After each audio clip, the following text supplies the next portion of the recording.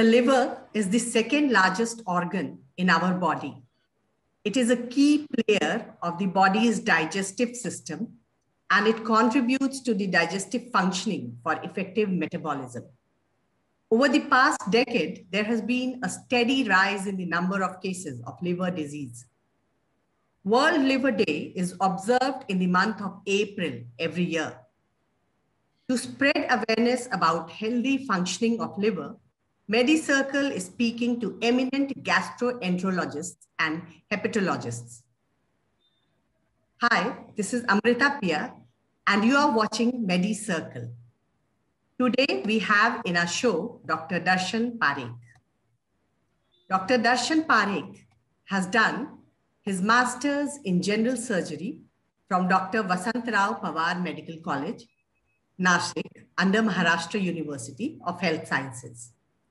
He has done a fellowship in gastroenterology and advanced therapeutic GI endoscopy at Lokmanya Tilak Municipal Medical College and General Hospital, Mumbai.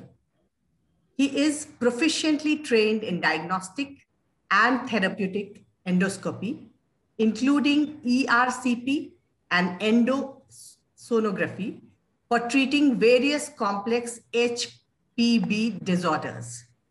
He has immense experience in gastroenterology with a vast practice in all over Mumbai. He is a visiting consultant in more than 10 hospitals in the city.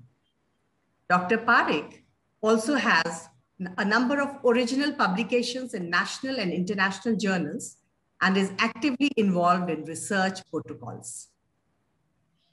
Welcome, Dr. Parekh. Hi, how are you? Yeah, I'm fine. Welcome to MediCircle. Thank you, thank you. So, Dr. Parekh, to begin with, uh, what does liver do? It's just a basic question, but many people do not really have much knowledge about it as well. Well, so the liver is more like the powerhouse of our body. So almost uh, every function of the body, you can link the liver to it, and you need the liver. So basically, what happens is that uh, uh, when the liver starts non-functioning, you, what you realize is that almost every part of your body starts getting affected, basically. Yes. So for the but if you put it in plain words, then the main functions of the liver are to regulate the metabolism of the body. And uh, so the three main uh, metabolism that the body requires are the proteins, the glucose, and the fats. Mhm. So the liver participates in all three. We basically when we eat food, we either we eat these three foods. We eat carbs, or we eat proteins, or we eat fats. So all these Mhm. three, when we are eating, uh, they are they are digested by the stomach and the intestines, and then these nutrients are absorbed by the intestines, and the blood takes them to the liver, and liver is what metabolize metabolizes this and regulates it. So it keeps Mhm. what the body requires, and it excretes what is what the body does not require. So this is a very complex uh, situation because every metabolism has a lot of enzymes and it's a huge pathway. So all these enzymes are produced by the liver, basically. So all that. So these are the three main things. So the glu- the carbohydrate, glucose metabolism, the fat metabolism, and the protein metabolism. So that is one thing, one aspect. Apart from that, what the liver does is that it produces a lot of uh, it itself produces a lot of proteins which help in the functionality of the body. So it produces uh, certain clotting factors which are required for blood clotting. Uh, it produces a lot of uh, antibodies. Right now, because of COVID, all we are hearing is antibody, antibody. Yes. So a lot of antibodies are, in our body are produced by the liver. Basically, the proteins which are required for these antibodies are produced in the liver, not for COVID, but Mhm. uh, a lot of other diseases which we don't get are produced because of antibodies, and the proteins which are required for these antibodies are produced by the liver. Okay. That being said and done, um, another important thing which the liver produces is bile. So what bile does is that bile is so what happens is that when food passes through the intestine, it stimulates the liver to secrete bile, and Mhm. bile mixes with the food and it basically breaks down the fats which are there in the food and helps in better fat absorption. Fat Mhm. is very difficult to digest by the body or even to get absorbed. So it it produces this bile basically, which helps in fat absorption, and that is why bile is very bile is yellow in color you know, uh, one question which people may think is when we eat food, we eat food of different colors. You know, we eat uh, green uh, vegetables or we eat yellow color food or we eat red uh, roti, sabzi, whatever we eat. But end of the time, whatever we excrete is always yellow or orange in color. So why? That is because of the bile which is secreted from the Okay. liver. It mixes with whatever food that we eat, and it is so strong yellow in color that that comes out uh, mixed with uh, the food, and it comes out as our stool, basically. Okay. And jaundice is one thing which is the body's indication that there is something wrong with the liver. And jaundice means that our eyes turn yellow or we start yellowing basically. And that is because the bile, uh, basically the bile which is supposed to be secreted by the liver is not being secreted properly. And that is the first indication the liver mein kuch problem hai basically. That mm-hmm. yellowness. So that bile is secreted by the liver which helps in a lot of functions. Mm-hmm. and that is the primary indicator of a liver abnormality for a layman ke kuch yellow ho gaya body mein that means something is wrong with the liver basically. Okay okay. And uh, so yeah these are the main it it helps in uh, excretion it helps in the absorption and excretion of all the almost all the drugs that we consume basically. Mm-hmm. so all the drugs that we use for our treatment in like paracetamol se leke biggest antibiotics se leke anything that we use they all go to the liver mainly. Oral drugs they all go from the intestine to liver and they are metabolized by the liver. And then the function of the drug starts in the body. Okay. So, so doctor this is what the liver does. Okay okay. तो doctor Parekh लोग लोगों का ये सवाल रहता है कि liver को हेल्दी कैसे रखा जाए? तो how to keep the liver healthy? So well so for I would basically I am a person who promotes a healthy lifestyle generally and so that will help you with any disease so for the liver again it's the same first thing is that you need to have a very very protocoled diet I will talk about a diet a little bit more in detail after some time, but one is diet, and second is regular exercise. Okay. Thirdly, in what you need to do is you have to have that uh, you have to maintain your body metabolism because that is the function of the liver so if you maintain this lifestyle then you end up maintaining the metabolism properly so the load will never come on your liver and it will be healthy in functionality that's one thing second thing is and the most important thing the most common disease that i see in my practice i see almost 3 to 4 patients every day is mm-hmm. alcoholic liver disease. People Okay. drink their alcohol they drink it every day they drink it in vast quantities they and then they go down a drain basically. There is nothing that you can save even if they come to me with so much distress and i tell them ki iske baad if you drink anymore you can actually die they still can't stop. So i would i generally say do not drink at all but Mhm. people have their uh, parties etc and i know that is not possible to follow. So you at least need to moderate yourself out. You can't drink a lot of alcohol every day. That is going to just directly damage your liver. So Mhm. avoiding alcohol is going, should be right in capitals ke nahi alcohol avoidance is important.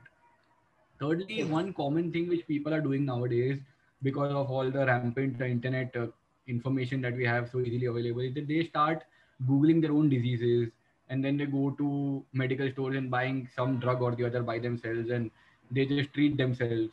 Mm-hmm. Sometimes they get treated but 90% of the time some they stop their course in between. Internet where full information not there. We have read 3000 pages of books which are behind you. So many books are there you know? Yeah. So that internet is not going to provide you so yeah the important thing here is that you cannot just consume drugs as and when required and then stop them because i- they will give you some effect but they might do harm which you're not seeing right now and a lot of times there is this drug toxicity which is affecting the liver Mm. so that should be avoided. So consult a doctor before taking any medicines. You know, don't randomly take medicines and don't randomly stop medicines. You never know what how this medicine will harm you. And liver is, like I said, liver regulates the drug metabolism. So liver will be the first organ affected also by the side effect of that drug. You know, yes yeah so that needs to be monitored. Also, uh, one of, after alcoholic liver disease, the second most common problem for liver is hepatitis B. The Hmm. hepatitis B is a virus which has a vaccine against it, a very effective vaccine against it, which has 100% efficacy. It has been there since years and it is in our immunization program since birth. But there is a generation of people who are elder to us who might not have taken this. So hepatitis B vaccination should be done. That is one thing of priority. It's extremely safe. It is there Mhm. since years, and uh, it is happening commonly um, in people, and it can damage the liver lifetime. There, there is treatment for to cur- curtail hepatitis B, but if you are affected once by hepatitis B, then it will never get out of your body. It will always be there. Okay. So you have, we have a very good preventive measure against it. So please get vaccinated against hepatitis B virus.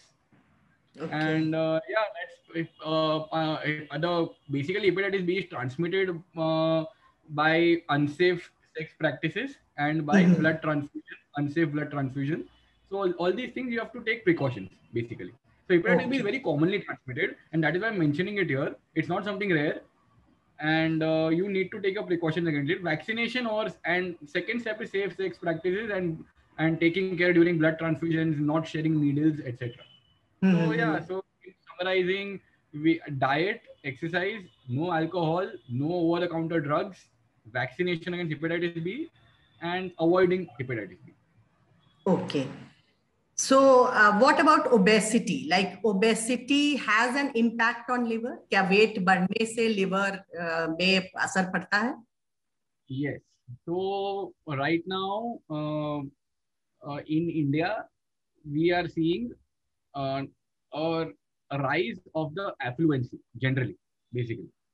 So as a result of this, what is happening is that initially India did not have these problems, but now India is starting to get diseases which affluent people get, and Mhm. most of these diseases come under obesity.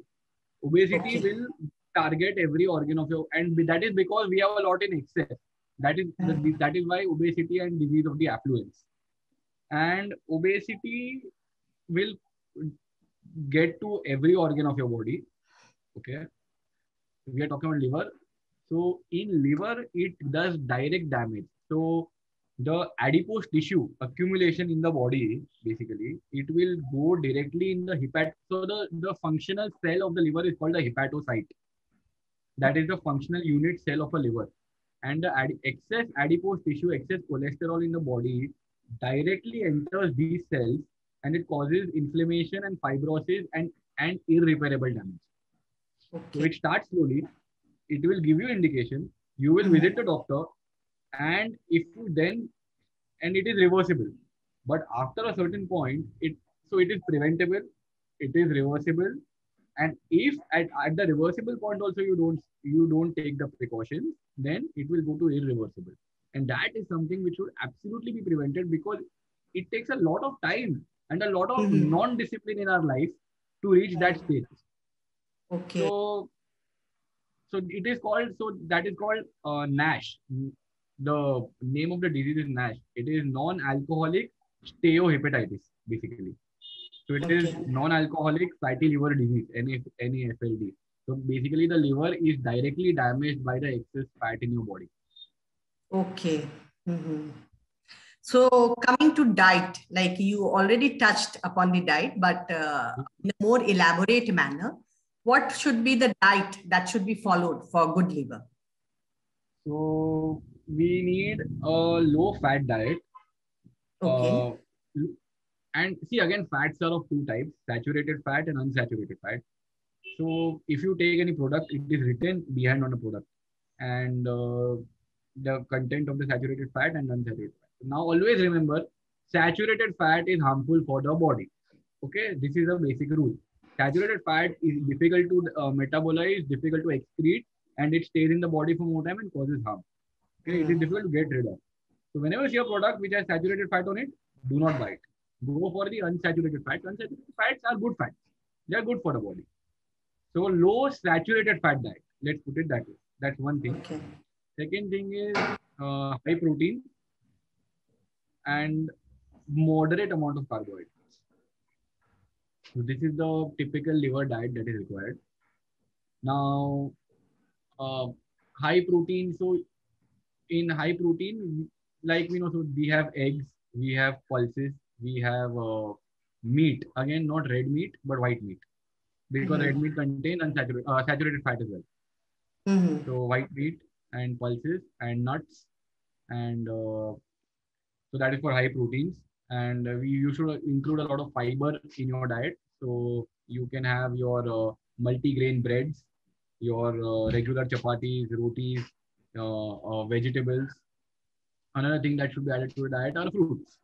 Fruits have a lot of antioxidants and they always help the liver. So include a lot of fruits, at least during your breakfast or once in a day, you should have a platter of fruits. Mm. So this, should, this is this is the balanced diet that's required, and uh, look at more proteins and more fiber content, less saturated fats, and uh, and add fruits and vegetables as a part of your diet, basically. Okay. Yeah, that should be good. So, so you yes, avoid alcohol. Mm-hmm. Avoid alcohol. That should not be a part of your diet. yes. Yeah. So the basically you uh, mean to say that we should always have a balanced lifestyle, balanced food, avoid alcohol, and uh, control obesity because liver yes. disease gets liver gets affected through all these, and yes. the main problem is that it silently affects the liver. So it's yes, yes. when people come to know about it. Yes. And immediately when you're, uh, you should you should get a six monthly. If you are above uh, 40 or above 50, you should you sh- if you are getting a body, you should ideally get a body checkup done every six months. And LFT, liver function test, is a blood test which is a part of your body checkup. And mm-hmm. if in your LFT, if there is a little bit of a derangement, then you should directly visit a gastroenterologist, basically, or a hepatologist. Okay and get a consultation, get in touch with someone. So, you know, your things are monitored and, and killed right at the onset. You should not wait for things to go out of hand because yeah. liver, liver is a regenerative organ. It gives you a lot of time to heal. Mm-hmm. So, if you start saving the liver, if you start caring for the liver, then the liver will respond very nicely. Yeah. So don't wait for irreplaceable damage and uh, visit a consultant immediately. If in your six monthly checkup, the liver enzymes are going up and down. Yeah. So thank you so much, Dr. Parekh. Uh, you welcome. I hope it is useful. Yes, of course. You gave some very uh, good inputs because what happens is people are not really uh, looking into information related to their health. Though they are on internet and everything, but they are using internet for entertainment. They're not really using it for their own health benefits. So I think specialists like you, when they come and uh, when we prepare videos uh, uh, uh, of specialists like you, it is going to have an impact because they are directly hearing from doctors who are practicing. Uh, so I think uh, it, it is going to be very helpful for our viewers. Great, great. Yeah. Thank you. Thank you. Thank you so much.